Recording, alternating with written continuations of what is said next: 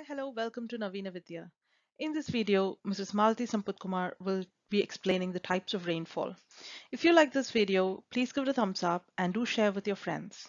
If you haven't subscribed to our channel Naveena Vidhya already, please do so.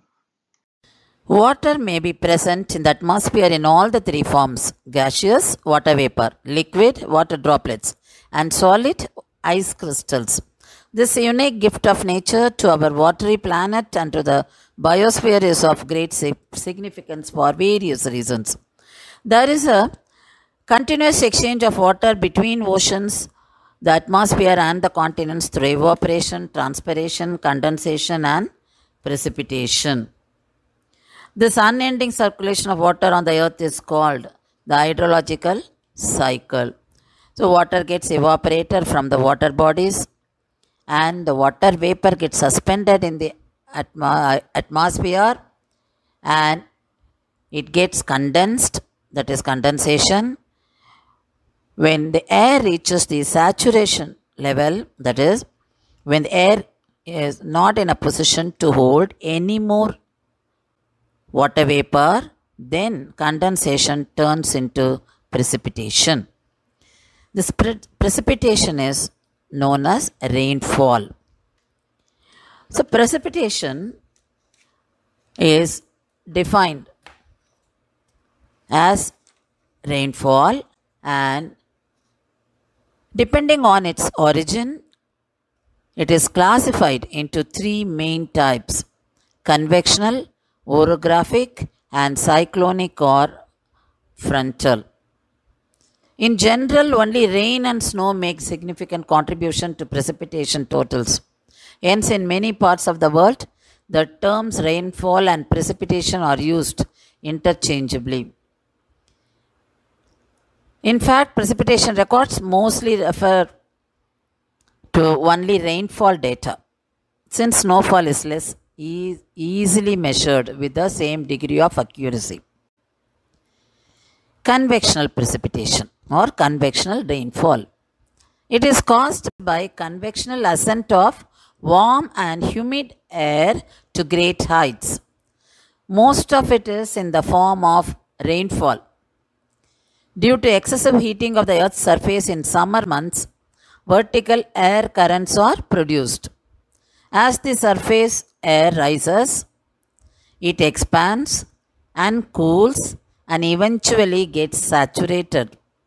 This is followed by condensation and precipitation.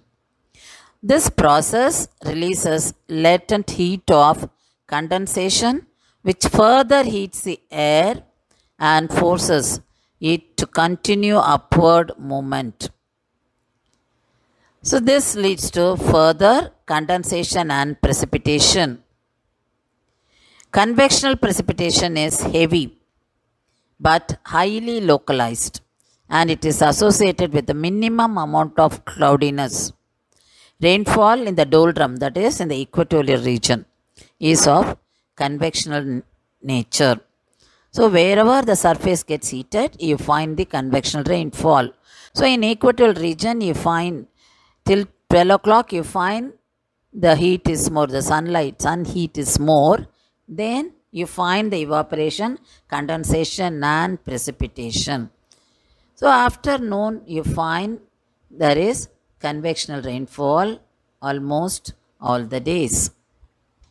Orographic or relief rainfall.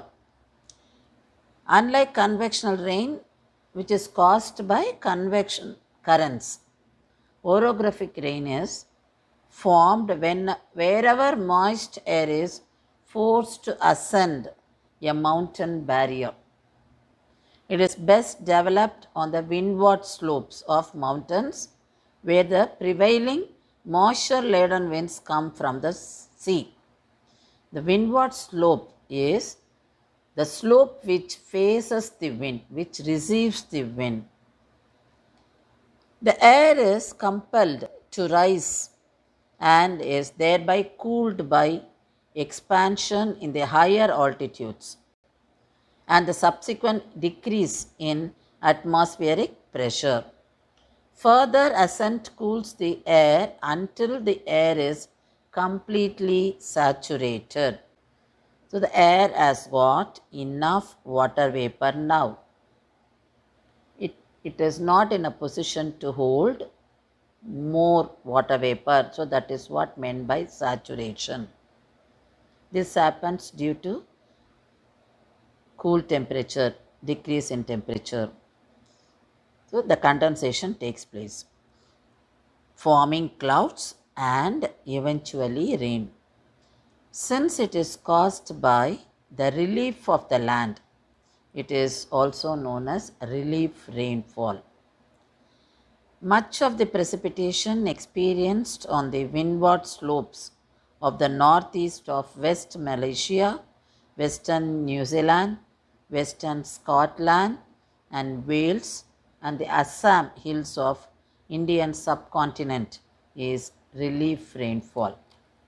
On descending the leeward slope, the slope which does not face the wind, the, the other direction, the opposite direction of the windward slope.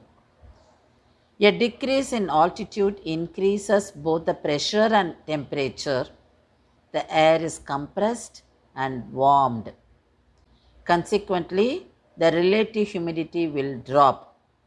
There is evaporation and little or no precipitation. The area in the leeward slope of the mountain is termed the rain shadow area. The effects of rain shadow are felt on the Canterbury Plain of South Island, New, New Zealand, and the western slopes of the northern and central Andes, and in many other areas. In India, we find Pune in the rain shadow region. Mahabaleshwar receives more rainfall as it is located on the windward slope of western Ghats. Cyclonic or frontal rain. This type of rainfall is independent of relief, that is orographic or convection. It is purely associated with cyclonic activity, whether in the temperate region or tropical regions. In the temperate regions, you find depressions, and whether tropical regions, you find cyclones. Basically, it is due to the convergence of, that is, meeting of two different air masses with different temperatures and other physical properties. So, here you see the warm air meeting the cold air. So, as cold air is de- denser, it tends to remain close to the ground because cold air sinks. The warm air is lighter and tends to rise over the cold air. In ascent, pressure decreases, the air expands and cools, condensation takes place, and light showers called cyclonic or frontal rain occur. The heavier and colder air masses eventually pushes up the warmer and lighter air and the sky is clear again.